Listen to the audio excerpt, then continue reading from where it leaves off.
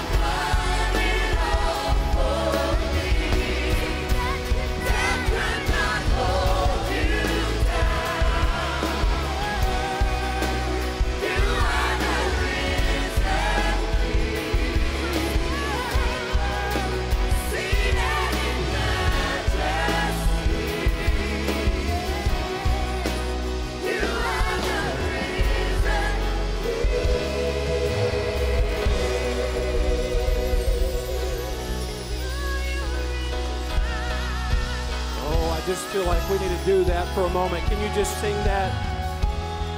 Hallelujah. Oh, come on. Can you let your praise just begin to resonate that this morning? Oh, can you just begin to thank Him for the victory that you have to come into His house uh, and just simply begin to say, Praise the Lord. Praise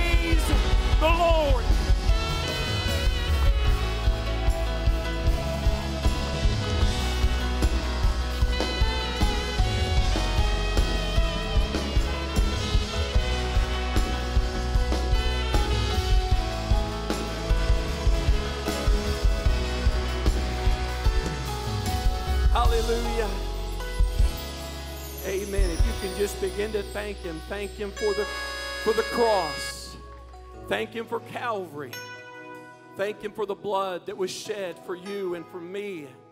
Amen. That you could come into this place this morning. Amen. That you've been purchased with a price.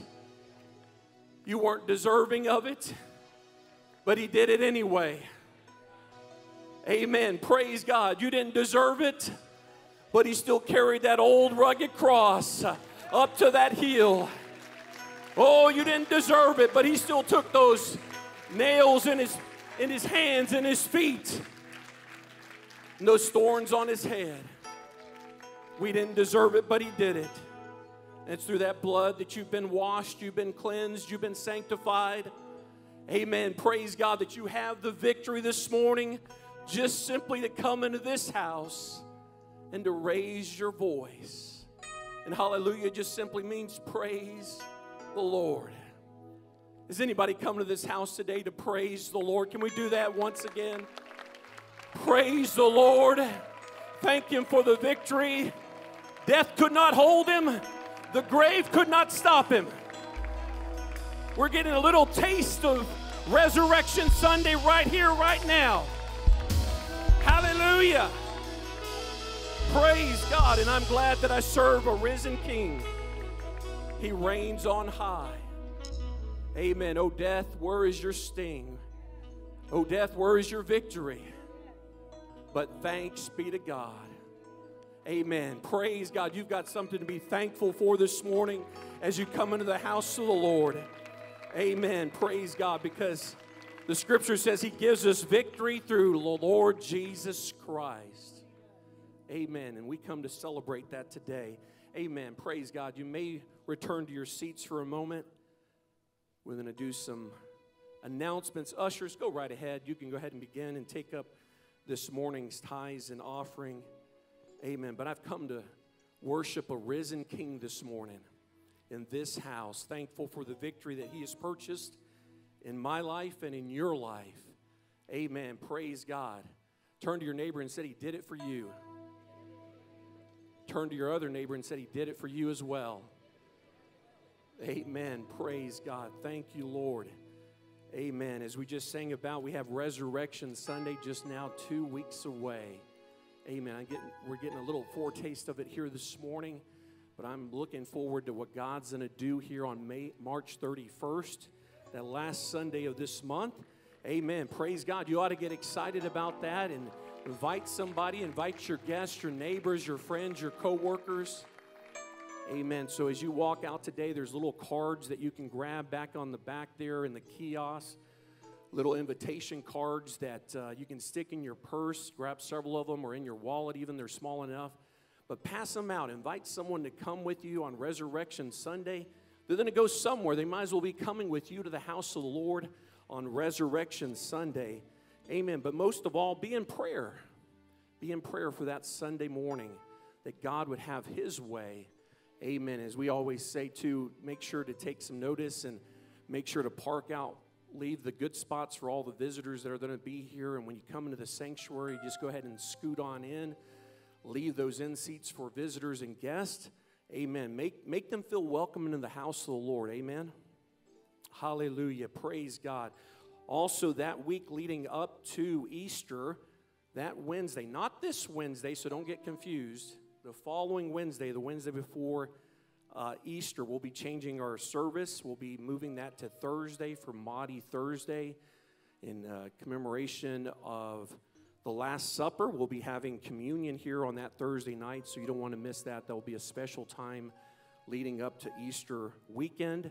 Amen. Praise God. And then also that Friday night, there'll be an all church prayer on Good Friday. So make sure you mark that on your calendars as well and be a part of that as well.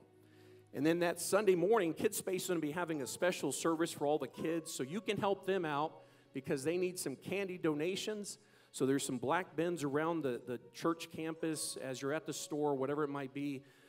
Pick up some candy, bring it to church, drop it in the bins, and I know that they will be blessed by your donation. Amen. Praise God. And then right after service today, you don't want, want to miss some good brisket. Amen. Turn to your neighbor and say, You don't want to miss it. We want to help out all the AYCers as they're still collecting funds. I think uh, there's still four out of the, the, the, people that still need fundraising, so you can help them out this morning. Uh, you'll get great brisket. Uh, Brother Gus, I think, cooked them all. Amen, right? She's over there shaking her head. Yeah, he cooked it. He was up all, probably all night. So you don't want to miss that. If you can help them sell out, I was talking to Sister Christina this morning. Uh, I think they need about $7,000, $7,500 still for all the ones that are remaining. If you get out there and you buy out all the brisket plates, if you buy out all the desserts, they're selling t shirts. So if you want to buy a t shirt as well, if you do all those things and then they have a little barcode, if you want to even give a little bit extra, you could probably help them get 4,000 of it right here today. So help them out. I know they're excited about the mission endeavors that they have coming up over the summer. So uh, be a part of that and stay right after service and be a blessing to the youth. Amen. Next Saturday, March 23rd, the youth will be having a youth service at 6 to 9 o'clock here at the church and the chapel. Don't miss that. Amen. Let's all stand. We want to go to the Lord in prayer. Remember Jose Garcia, he's going to be having surgery this coming week. That's a prayer request of Sister Therma Garcia. Also, remember Helena Aiken and her children, also Aria Guzman as she's recovering from surgery. Amen. Also, continue remember Sister Shalene. She had surgery, then some complications, had to go back in. She's back out of the hospital again, but continue to lift her up in prayer. Ask God to be with her. Also, be with uh, the Dobbins. Continue to lift them up in prayer. Amen. And one other special request Brother Steve Miller said that they are off to several different prison ministries this morning to ask that God's favor would be upon them. Amen. As they continue to petition and ask God's will to be done in the various services that they're having. Amen. Praise God. If you've got a need on your heart, why don't you just raise your hand this morning? Amen. And let's just begin to call on the name of the Lord. God, by your stripes, your word says that there is healing. By your stripes today, God, there is deliverance. By the stripes that you bore for each and every one of us in this house, we weren't deserving of it. We certainly were felt we fell well short of it. But God, we're thankful that you came, that you did it.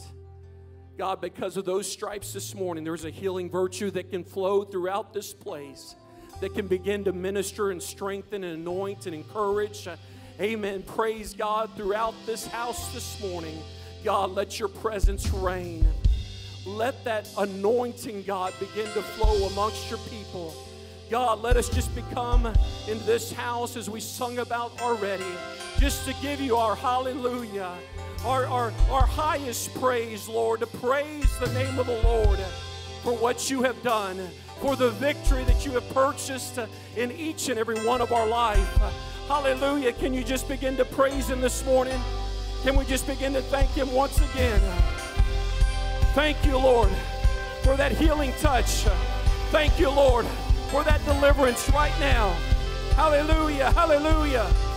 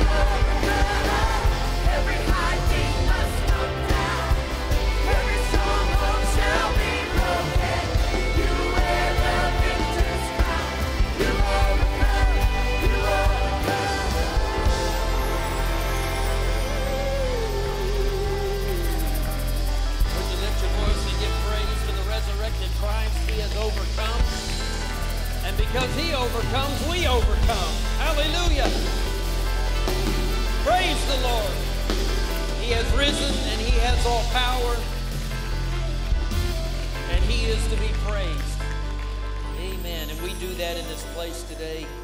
Good to see all of you in the house of the Lord. And it's good to feel the liberty of Jesus Christ. And it's good to be among the people of God. Amen. If you have your Bibles, turn to Joel chapter 2. Amen. I'm excited for Resurrection Sunday. And uh, obviously, it's, um, well, it has a holiday feel, you know, just a lot of festivity for Christians, but it's more than that. It is the bedrock of our faith.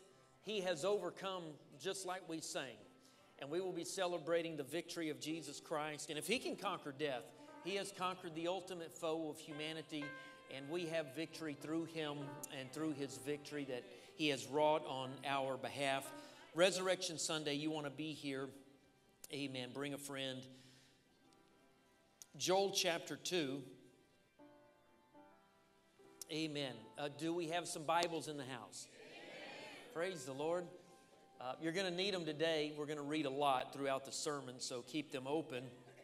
And if you're looking for Joel, um, if you see the big books in the Old Testament, prophets, Isaiah, Jeremiah, Ezekiel, after that, you get Daniel, Hosea, then Joel, Amos, Obadiah. Right in there, Joel, the prophet Joel. Amen. Joel chapter 2, I want to begin with verse 25 and just read two passages. Joel 2 25. So I will restore to you the years that the swarming locust has eaten, the crawling locust, the consuming locust, the chewing locust, my great army which I sent among you. You shall eat in plenty and be satisfied, and praise the name of the Lord your God, who has dealt wondrously with you. And my people shall never be put to shame. Then you shall know that I am in the midst of Israel. I am the Lord your God, and there is no other. My people shall never be put to shame. And I want to talk to you this morning about the God who restores. The God who restores. Now, uh, uh, today's message is a little different. We're going to uh, we're going to have a little Bible history. So uh, I, I hope that today you leave knowing a little more about the Bible and the story of Joel. We're going to have a sober call to action, which is what this book is about. And then we're going to hear a word of victorious hope. Amen. And so I want us to give praise to Him again before we're seated. Would you do that? Would you just lift your voice and give thanks to the Lord Jesus for His victory in our lives?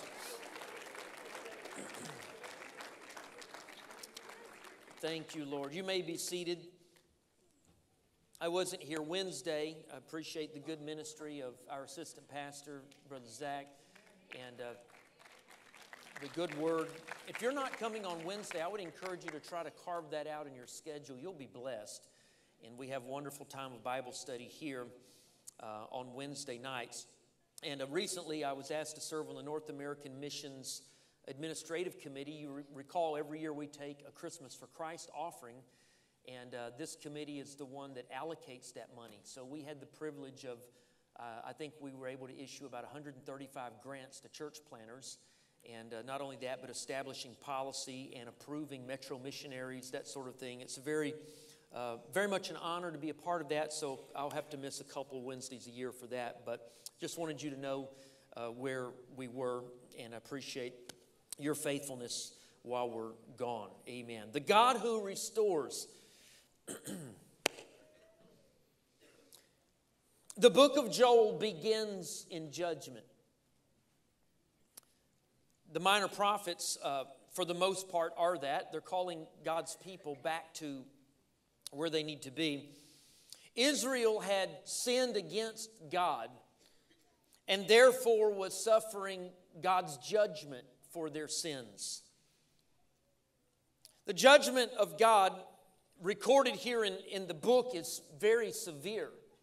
God sent a locust plague and a drought to the nation of Israel. Now, this might sound like a small thing to a contemporary person like us living in the Western world with modern conveniences, but locust plagues were exceedingly destructive. In fact, even in modern times, particularly, well, won't get sidetracked into all that, but, but yeah, even in modern times, there have been documented plagues of locusts that have decimated entire regions with their destructive force. The locusts come in large swarms like clouds, literally billions of locusts. They come in, in, in, in large waves and sometimes with such intensity that they would literally be a cloud and darken the sky. The sights and the sounds were terrifying. They, they literally devoured everything in sight. They, they would eat the grass, they would eat the leaves on the trees, they would eat the crops in the field, they would eat the fruit off the vine. They, their, their sounds and their sights, it, it was a terrible thing. And they came with a loud, you can imagine literally billions of these things, these insects, with this loud buzzing and chomping and crunching. It, it was a terrifying thing. And and, and when they left, there was nothing. There was nothing in their wake but stubble. You may have driven through farmland perhaps after a harvest and after a farmer has gone and tilled under uh, the remnants of the harvest, and, and you can just see the little, you know, sprigs and sprouts kind of just sticking out of the soil. That's what the landscape would look like after a locust plague. Totally empty. No leaves on any trees, no fruit remaining on any vines and it, it, was, it was total, absolute destruction. And, and this is what's going on here. And, and as a result, the entire area was shaken. So if there weren't any crops, then that means there's not any food.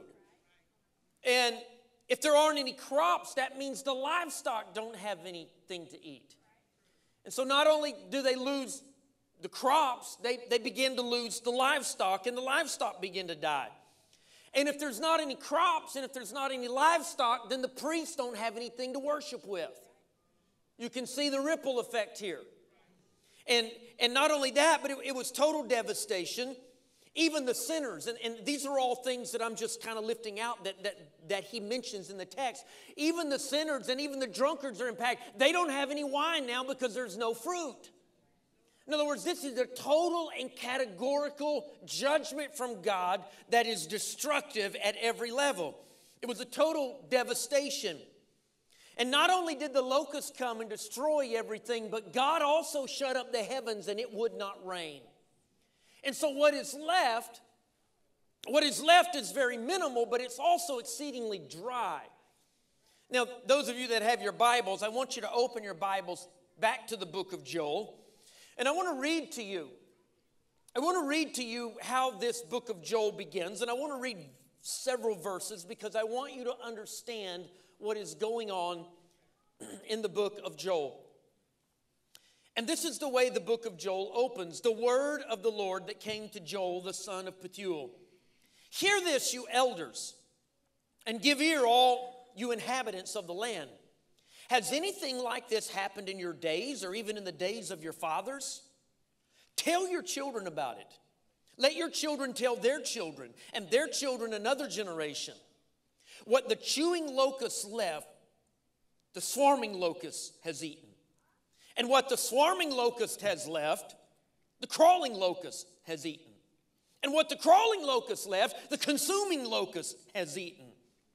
Awake, you drunkards, and weep and wail, all you drinkers of wine, because from of the new wine, for it has been cut off from your mouth. For a nation has come up against my land, strong and without number. His teeth are the teeth of a lion, and he has fangs of a fierce lion. He has laid waste my vine and ruined my fig tree. He has stripped it bare and thrown it away. Its branches are made white. Lament like a virgin girded with sackcloth for the husband of her youth. The grain offering and the drink offering have been cut off from the house of the Lord. The priests mourn who minister to the Lord. The field is wasted, the land mourns, for the grain is ruined and the new wine is dried up. The oil fails. Be ashamed, you farmers. Well, you vine dressers, for the wheat and the barley, because the harvest of the field has perished.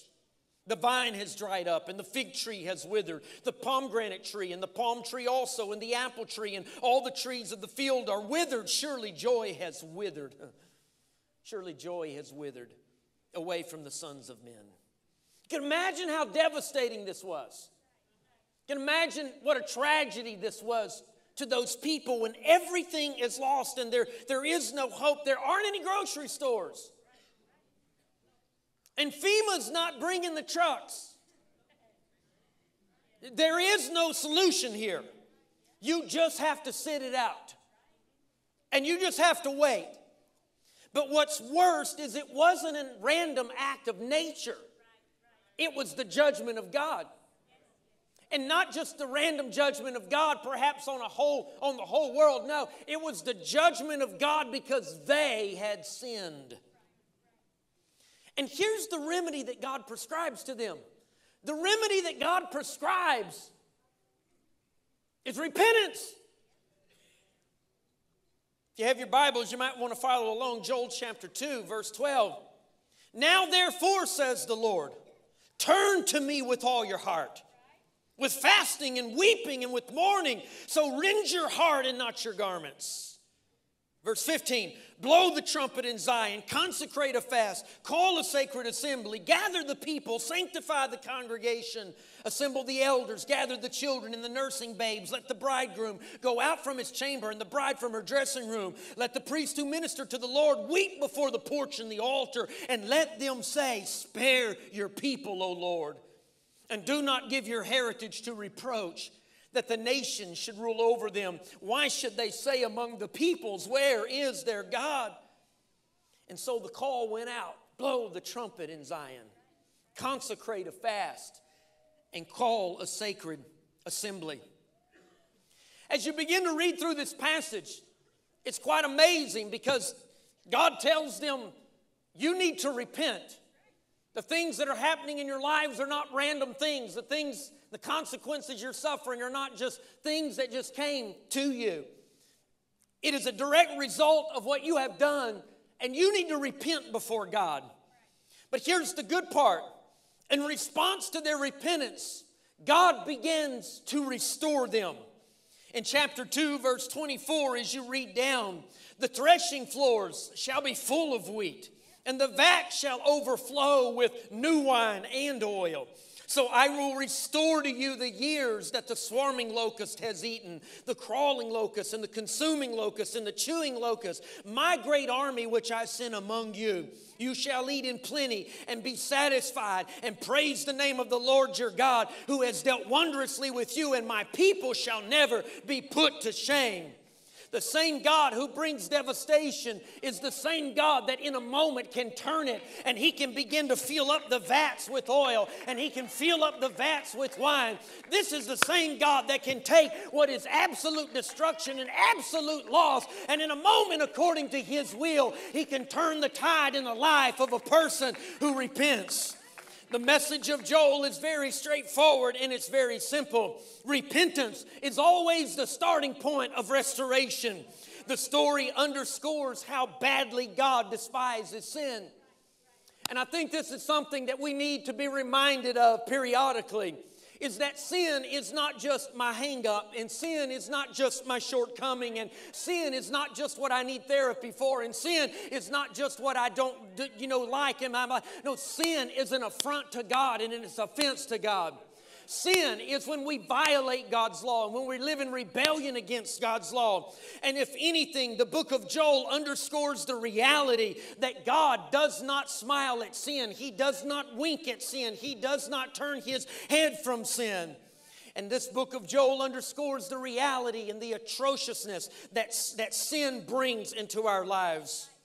When we have drifted from God, we should repent. It's going to be quiet here this morning. When we have sinned, we should repent. If you are living in sin, you should repent. If you're engaged in talebearing and gossip, you should repent. If you have lust in your life, you should repent. If you are living in sexual immorality, you should repent. If you are not honoring God with your finances, you should repent. In other words, the things that we get away with seemingly in life is, is just because judgment doesn't fall on us immediately, does not mean that the all seeing God is not calling us to righteousness. We need to be very clear in our commitments to live a life that brings glory to God and not a life that just squeaks by.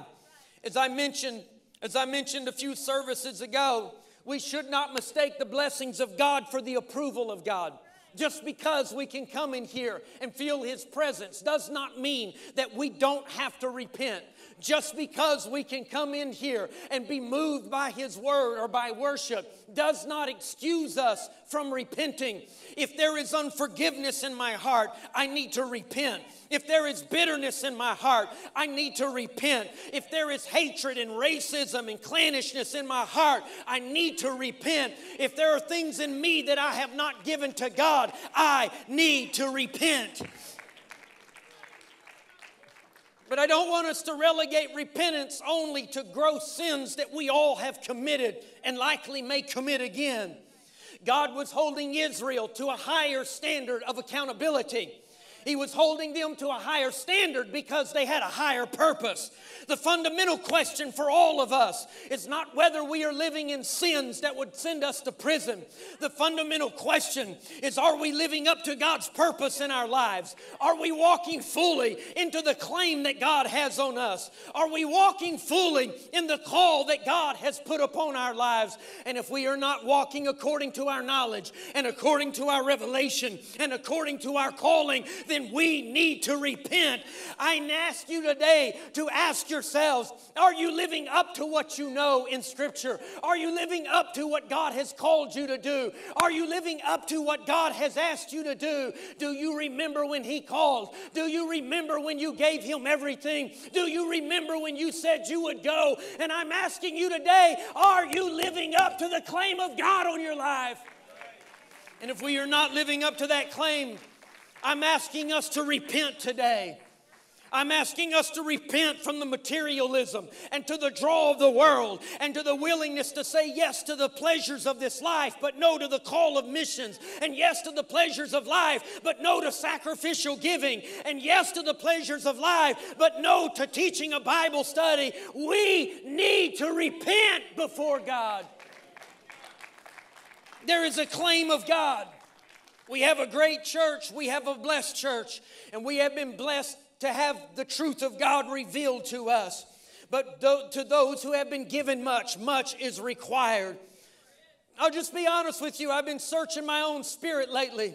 I told my wife just this week, I told her it can't keep going like this. It can't keep being like this. There's something in me that's calling me to change. I've got to repent. I've got to change. I've got to, something that's got to move in me. I began to think about what God has done, and I began to think about what God wants to do, and it began to convict my spirit. And I said, I have got to call on God, and I've got to repent because here's the issue the issue is not whether or not I commit adultery or whether or not I rob a bank, but am I living my life according to the claim of God that's on my life.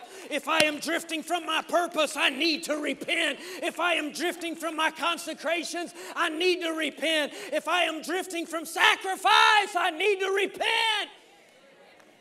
There is a claim that God has on all of our lives, and we need to walk in it. We don't live to merely get by, and we don't live to merely make it to heaven, and we don't live merely to just stay out of jail. No, there is a claim of God. He's called us. We are ambassadors of Christ. We are the children of God. We are kings and priests before Him. There is a purpose, a called purpose. We've been called out of darkness and into His marvelous light. We have a calling on our lives, we have a claim on our lives. New life, there is a call and a claim on this church, and we have got to live up to it. I want to walk more fully. I want to walk more fully in what God has asked of me. Israel very well could have made the argument we're no worse than Egypt. Israel could have very well made the argument to God we're no worse than Philistia, and we're no worse than Assyria, and we're no worse than all these other nations around us. And God says, I'm not holding you to their standard, I'm holding you to your elect standard. There is a calling that is in the life of every believer. And if you've been called by God, there is a response that it requires. And it is a response of absolute and total commitment to Jesus Christ. But here's the good news. Here's the good news that I have for you today is that when we turn to God in repentance, He is able to restore the purpose and He's able to restore the calling and He's able to restore what He wants to do in our lives. All we have to do is come and say, God, I have fallen short. God, I have sinned against you. God, I have missed the mark. I've relied on myself more than I have relied on you. I cannot do this without you. God, I'm asking you to forgive me. Can I tell you that if you'll turn repentance to God, there's more that God has for you. There's more that He wants to do in your life. And I know what some of you are thinking, especially the inner core, especially my little tiny team that works for the church. You're thinking like I thought for a long time until God spoke to me this week. You're thinking I'm giving all I've got. You're thinking I don't have anything else to give. You're thinking I'm tired because I gave it all. You're thinking I'm broke because I gave it all. Can I tell you those are excuses? God, if He's calling you, He will equip you. And if He's calling you, He will strengthen you. We can never become contented based on the victories of the past. We can't live on testimony. We have to live on the future. We have to live for revival. We have to live for harvest. I want to repent. I want to change. I want to turn.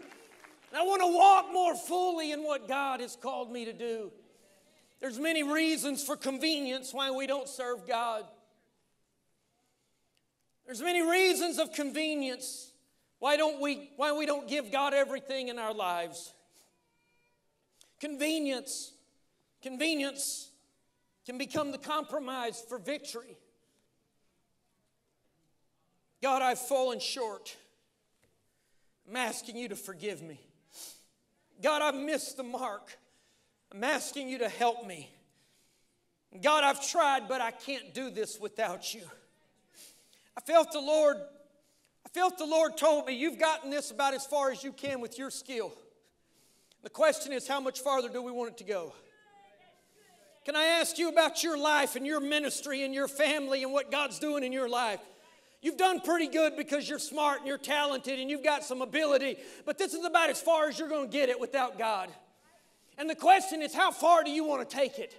The question is, how much do you want to be used by God? The question is, how much anointing do you want? How much revival does this church want? How many newcomers do we want? How big is the harvest that will fill this house? What sort of signs and wonders do you want to see? What is it you want to see God do? Can I tell you the end of ourselves is the beginning of the miraculous? And when we have spent what we have, and when we step out by faith, God is willing to pick up what's left, and God's able to bless it and to move it and to stretch it and to give us a great harvest. Once you get to the end of yourself. So I've been praying, God, forgive me. Here's a challenge you start comparing yourself. It's like, well, we're a pretty good church. That's not what God called us to be. You look at your own life and think, well, we're pretty faithful, we're involved. That's not necessarily what God called you to be. If you just stop short and say, well, this is it, and then because I'm better than that, that becomes a pretty lame standard. The question is not, how do I relate to all the other believers? And all the backsliders. The question is, how do I relate to the potential that's inside me? The call of God and the claim of God. How do I relate to the standard that God is calling me to? And does my life measure up to that?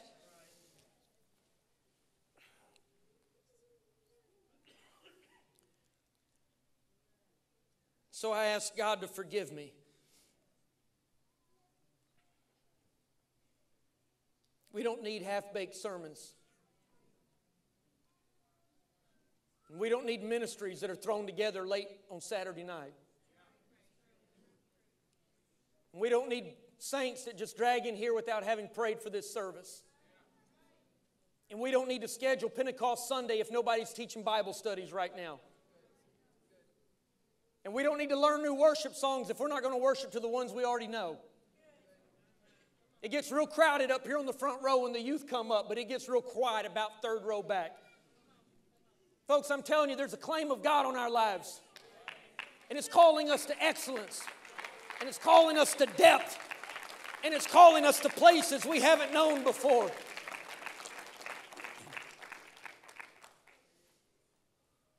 God called Israel to repent.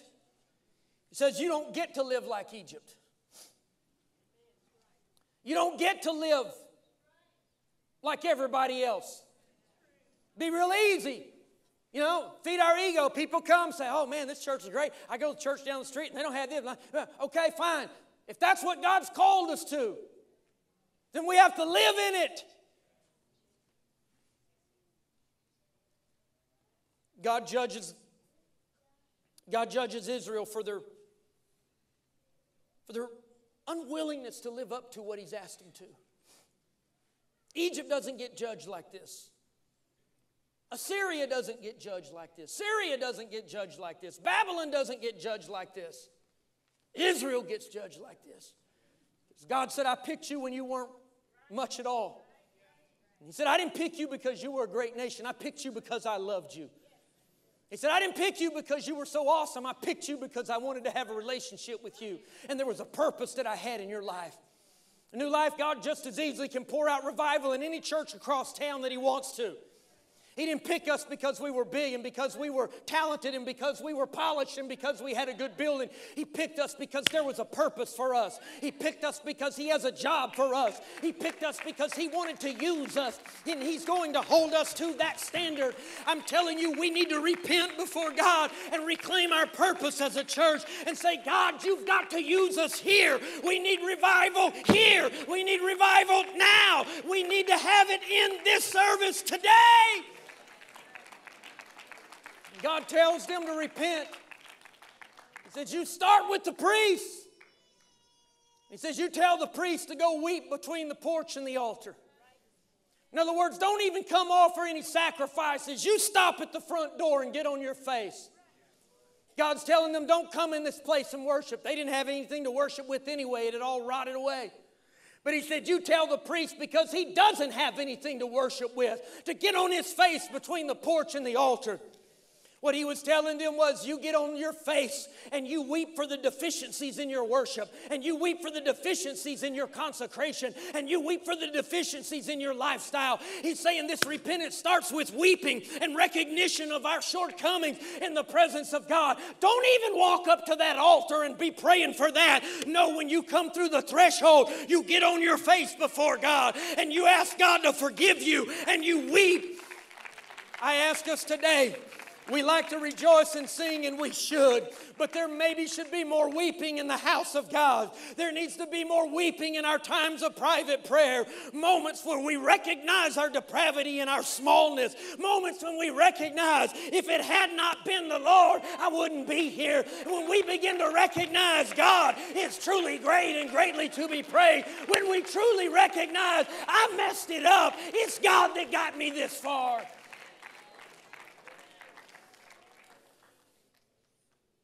God told them to repent.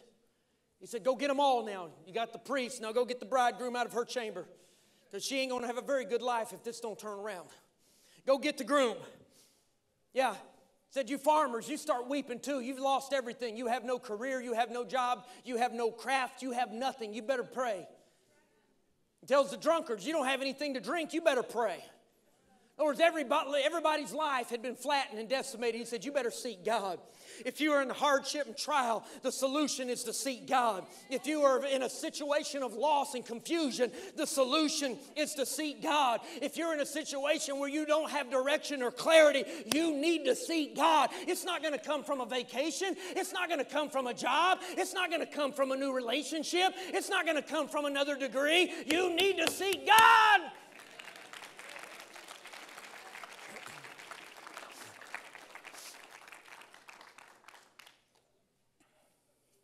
They gather.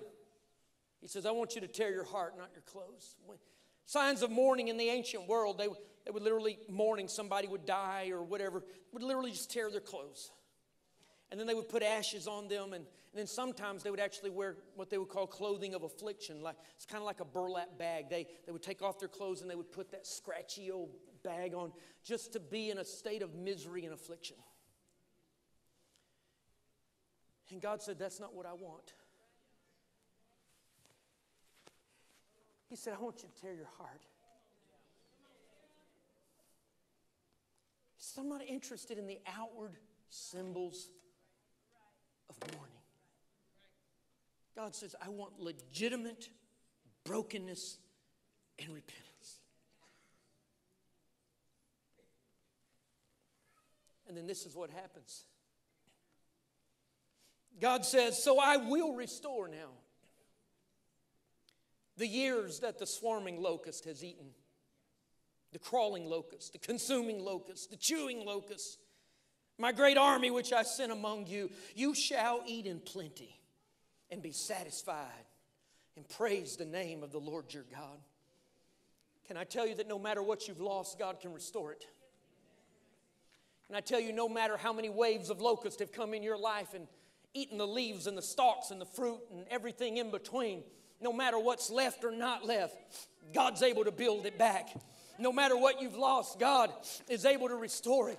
It doesn't matter how bad it was, and it doesn't even matter if it was your fault. When you live in repentance, God is able to turn that thing. You may feel like, well, I lost it and I blew it. You may feel like, well, I don't deserve it. It doesn't matter. Once you have repented of your sins and repented from the state from which you have d- drifted, God is able to turn things in your life. He's able to restore the years of the. Hey, who sent those locusts? God did. Who sent that judgment? God did. What God is saying, when you get on the same page with me, I can undo what I did in your life. He can undo the blessings, but He can also undo the cursing. If you get on the same page with God, God is able to bless and He's able to restore.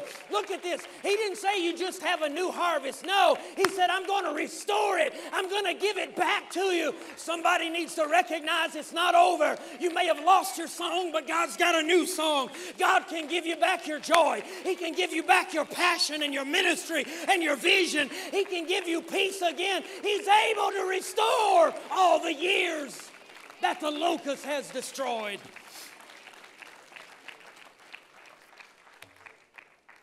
Missed opportunities. My wife and I were talking about someone that wasn't living for the Lord recently. And one of the biggest things that broke my heart was the missed opportunities. Like, okay, they'll get on track someday. I believe that. What about these missed opportunities? What about the years the locusts are eating up? What about the devastation? Well, he said he'd restore it. I don't know how all that works, but I know what God said. And what God is saying is, I can fill back up what's missing. God said, I can pour back in what's empty. God said, I can miraculously fix this.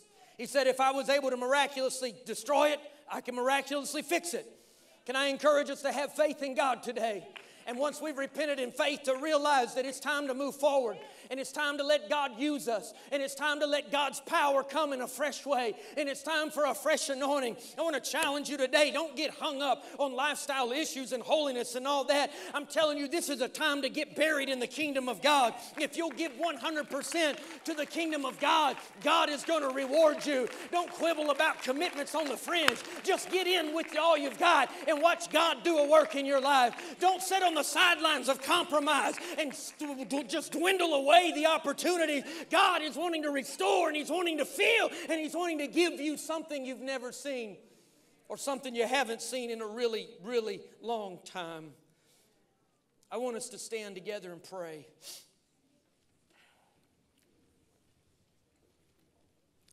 Some of you have, I'll just change that. Some of us have made some pretty big mistakes. And sometimes that, that mistake is like a, a conscience in your life, and it just follows you everywhere you go. And every time you raise your raise your spirit to do something, that mistake sits there and says, "Uh-huh. You can't do that. You you have failed." And it starts reciting all that. The human memory is one of the most it's one of the most devastating things when it comes to failure. I think that's why I think that's why Paul said, I forget those things that are behind me. I forget them. And I just move on in Jesus' name. Can I tell you if you'll repent before God today? And maybe you're saying, Well, I haven't done any major sins this week. Are you aligned with your calling? Are you aligned with your purpose? Are you walking fully in the commitments and the consecrations you know you should? Are you walking in the generosity and the kindness of spirit that God's called you to? Are you being what God wants you to be? Or are you like sitting there saying, Well, I'm better off than I'm doing okay. There, I could do more. I'm, I'm okay. There's no okay in the kingdom of God. Laodicea was lukewarm. And Jesus said, I wish you were cold because then I could warm you up. Or I wish you were hot because then I could use you. But because you're in the middle and you say you don't need anything, that was their sin. He said, You're naked and you don't realize it. You're poor and you don't realize it. It's a spirit of entitlement. I'm waiting on this opportunity, or I'm called to do this, or I have served my time, I've done my time, I'm a 19th generation apostolic. It's a spirit of entitlement, Laodicea is. And he says, You don't even realize your poverty. And this is the words of Jesus. This is in red in your Bible. He said, Because you're that way, I'm going to puke you out of my mouth. God, no.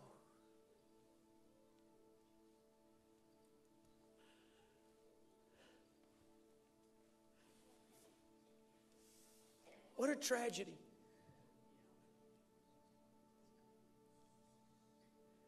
I somewhat look like a preacher. We've got online views. I've traveled the world, I've preached the conferences. I'm the preacher. What a tragedy.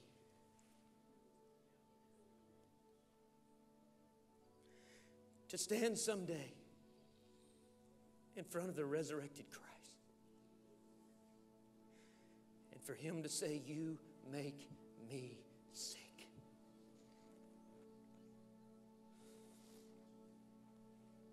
I've got to repent. There's a call. There's a claim. I wonder if anybody feels that today. It's not condemnation, it's a call to step up higher. It's not condemnation, but it is conviction. Come on, young people, don't, don't play your life away. Don't get caught up on your phone and pornography and junk and social media. Don't, don't get caught up in it. You, you're precious. Give your life to God.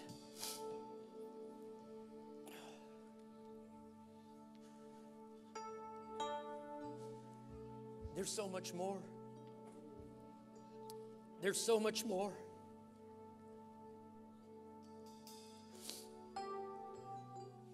Would you respond to the Lord right now?